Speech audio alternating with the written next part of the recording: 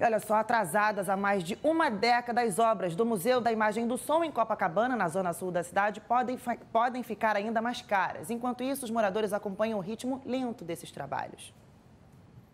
O canteiro de obras já faz parte da paisagem de um dos principais cartões postais do país há mais de uma década. E para quem está acostumado a passar pela orla de Copacabana, a sensação é de que o fim dos trabalhos está longe do fim. Moradores contam que o ritmo é lento e poucos funcionários ficam no local. Tem sido a passos lentos, né? Muito devagar, praticamente quase parando. Nos últimos dias, algumas pessoas têm trabalhado aí no no museu mas assim, a obra está muito devagar, está muito devagar mesmo. Quando as obras começaram em 2010, a previsão de abertura era 2012, o que não aconteceu. A promessa era inaugurar um centro cultural com restaurante panorâmico, cinema ao ar livre, seis áreas de exposição e auditório multiuso. Em agosto do ano passado, o governo do Rio anunciou que 80% da obra já estava concluída e que o museu seria aberto ao público em janeiro desse ano. Além de não terminarem, as obras ficam cada vez vez mais caras. A MP Engenharia e Serviços, responsável pela conclusão dos revestimentos e instalações do museu,